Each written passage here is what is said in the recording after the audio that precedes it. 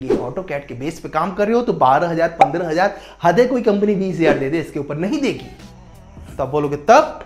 तो इसलिए आपको अपने एरिया में स्किल्स ऐड करने पड़ेंगे। जिस भी इंडस्ट्री में हो आईटी में हो सिविल में हो मैकेनिकल में हो, आप जब तक अपने स्किल्स को ऐड नहीं करोगे, आप देखो ना कि आपके कंपनी के जो सीईओ है, वो तीन लाख रुपए ले रहा है। आपके कंपनी के जो डायरेक्टर है, वो ढाई लाख रुपए ले रहा है। क्यों?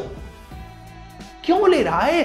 डेफिनेटली उसके पास आपसे ज़्यादा स्किल्स है, इसलिए ले रहा है। तो उस पोजीशन पे हम खुद को क्यों नहीं देख रहे हैं?